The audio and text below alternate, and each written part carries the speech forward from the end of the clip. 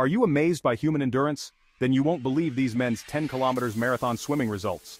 In an electrifying display of endurance, Hungary's own Kristóf Rasovszky snagged the gold with an astonishing time of 150.52, 7.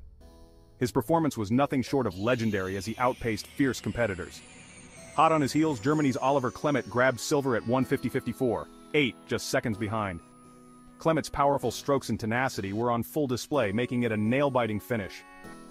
The bronze went to David Betlehem also from Hungary clocking in at 151.09, With two podium finishes, Hungary's dominance was clear. The race was a nail-biter with mere seconds separating the top contenders. Italy's David Acerenza and France's Leo Fontaine rounded out the top five, showing off their impressive skills. And let's not forget Ian Puskovitch from the USA, who battled challenging conditions to finish 19th with a time of 157.52. 5. His determination was truly inspiring. That wraps up our thrilling coverage of the men's 10 kilometers marathon swimming final. Love the race? Smash that like button, subscribe and drop a comment on who wowed you the most.